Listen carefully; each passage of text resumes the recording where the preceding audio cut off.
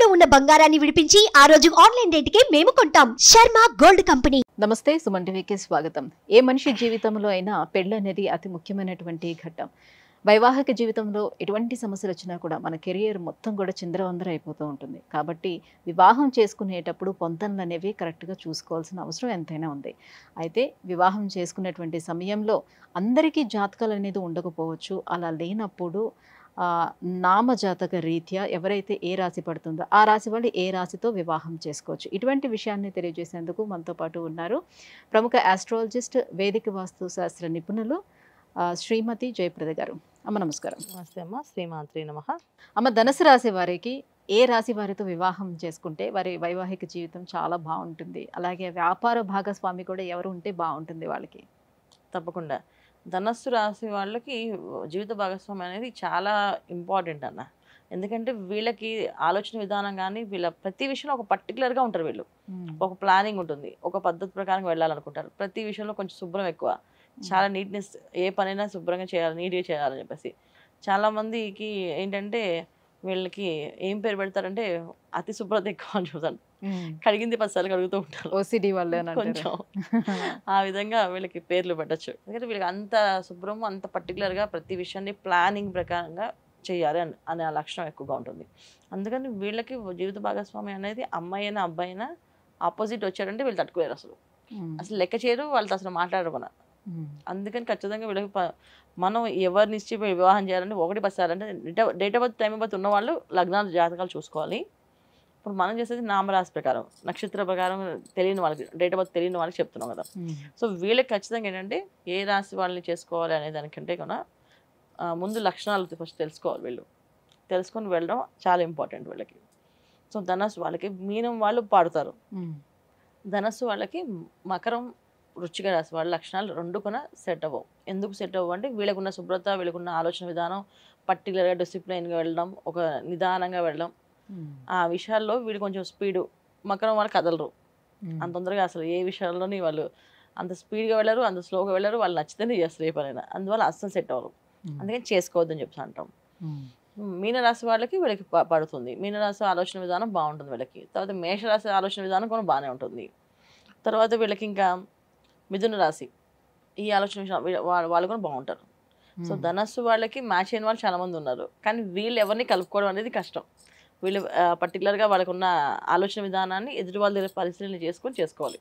Main um. ఏదో ఆ, ఎలా పడితే అలా చేసేసి వివాహం చేసేస్తాం. అంటే వివాహం అవ్వాలి ఇంపార్టెంట్ చెప్పేసి వాళ్ళ రోజు ఏంటంటే అమ్మాయిలు దొరకట్లేదనో అబ్బాయిలు దొరకట్లేదనో పెళ్ళి చేసేస్తే వీళ్ళు లైఫ్ లాంగ్ వాళ్ళతో హ్యాపీనెస్ ఉండదు. ఉంటారంతే ఇంట్లో. ఆ టీవీ ఉంటుంది ఫ్రిడ్జ్ ఉంటుంది అలాగే వైఫ్ ఉంటుంది అని అంటే అలా వదిలేస్తారు వీళ్ళకి సో ధనస్సు రాశి వాళ్ళకి పర్ఫెక్ట్గా మ్యాచ్ అయ్యేటువంటి రాశులు చాలా పర్ఫెక్ట్ మ్యాచ్ అవ్వడం అనేది తక్కువే ధనస్సు వాళ్ళకి. అయ్యో.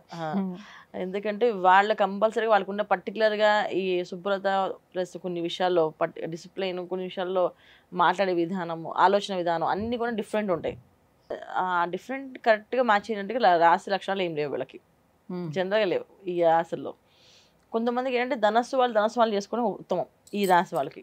అందుకని కరెక్ట్గా ఆలోచనలు ఇద్దరు ఒకేలాగా నీట్గా ఆలోచిస్తారు కనుక ఈ విషయంలో వీళ్ళు సెట్ అవ్వచ్చు. ధనస్సు వాళ్ళు ధనస్సు చేసుకోవచ్చు.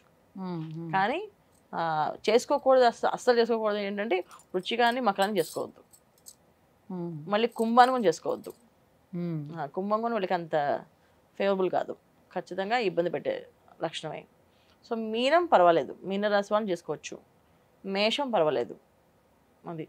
మళ్ళీ మిథునం పర్వాలేదు. మీనం మేషం మిథునం. అయితే కొంచెం బెటర్ బెటర్ అంటే వీళ్ళ తగ్గట్టు కొంచెం కొన్ని విషయాల్లో వాళ్ళ తగ్గట్టు మ్యాచ్ అవ్వడం కానీ చేయడం జరుగుతుంది. అది. ఎందుకంటే వీళ్ళు ప్రతి ధనస్సు వాళ్ళకి ఏంటంటే ఎప్పుడు కొన్ని ఆలోచన విధానం ఏంటంటే ఏ పని చేసినా ఒక లాభదాయకంగా ఉండాలి. దాంట్లో ఒక పద్ధతి ప్రకారంగా ఉండాలి అంటారు. ఒక లాభమే ఉండాలి ఒక లేదా ఒక ఏంటో ఒక పద్ధతి ప్రకారమే ఉండాలి అని అంటారు.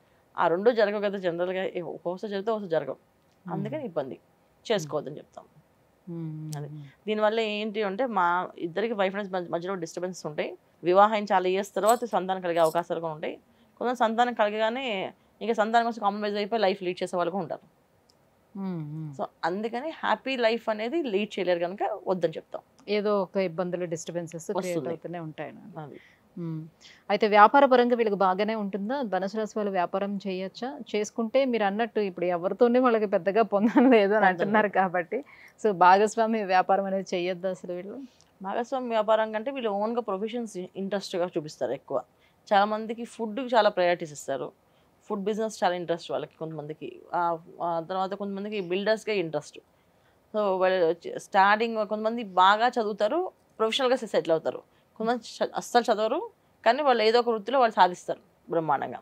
అది ఒక ఫుడ్ ఇండస్ట్రీ కానీ ఒక లేకపోతే రియల్ ఎస్టేట్ వ్యాపారంలో చేసి దాంట్లో బిల్డర్గా ఎదగడం కానీ ఇలాంటివి జరుగుతూ ఉంటాయి వీళ్ళు బాగా చదివి ఉద్యోగం ఏమీ లేకుండా ఉండే వాళ్ళు కూడా ఉంటారా? అవును. హండ్రెడ్ పర్సెంట్ ఉంటారు. ఎందుకంటే ధనస్సులో డిఫరెంట్ మైండ్ సెట్ ఉన్నవాళ్ళు ఆ లక్షణాలు అలా ఉంటాయి.